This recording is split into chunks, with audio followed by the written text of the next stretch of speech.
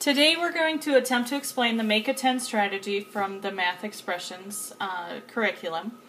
The Make a 10 strategy stems from using the 10 by 10 grid to be able to make tens and then extra ones, specifically when you're working into the teen numbers. So if we took the equation 7 plus 8 equals box, and we added 7 circles onto the Make a 10 grid,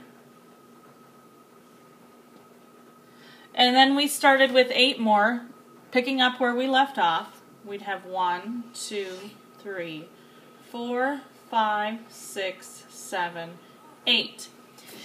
Then we have one ten here in the 10 sticks, and then we have five extra ones. So we have a new equation, and we call that 10 plus 5 equals 15. The students are taught that 7 plus 8 is the same exact thing as 10 plus 5, and then they're able to get 15. Likewise, you can also do it without the grid.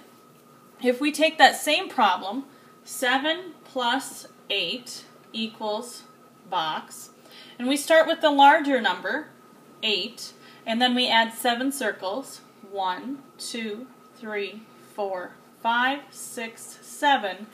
Then we can make a 10 after we have our picture drawn. So 8, 9, 10.